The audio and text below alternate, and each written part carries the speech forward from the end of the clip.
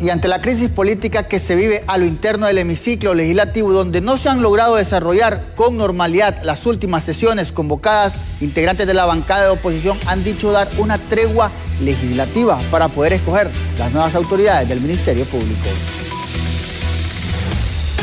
Congresistas que durante tres semanas consecutivas han permanecido en protesta a lo interno del hemiciclo legislativo han aclarado dar una tregua en esta paralización, ya que aseguran el tiempo va en contra y es necesario elegir un nuevo fiscal general y adjunto. Vamos a hacer una tregua en la, en la parálisis legislativa que tenemos, eh, o por lo menos la protesta que tenemos, hasta que nos puedan dar el, eh, el, beneplácito del derecho que nos asiste como parlamentario y que el pueblo hondureño nos dio como posición constructiva a que la moción presentada por el compañero Márquez sea sometida a votación. Eso es lo que nosotros esperamos, no más eh, atropellamientos a los derechos de los parlamentarios por parte del ilegal de,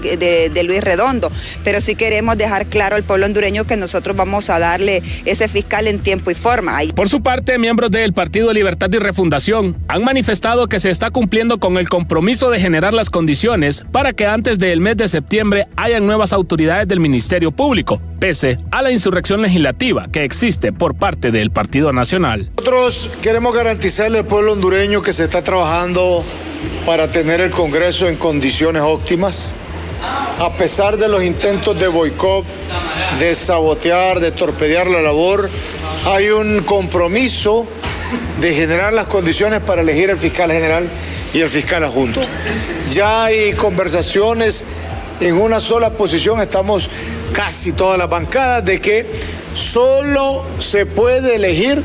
de la nómina de los cinco enviados por la Junta Proponente. Con pocos acercamientos que existen entre las diferentes bancadas para crear consensos, se estaría a la espera lo que pueda suceder los próximos días, ya que hasta el momento no se ha hecho la convocatoria oficial a los congresistas para elegir al nuevo fiscal general y fiscal adjunto. Con imágenes de Marvin Andino, les informó José Luis Castellanos.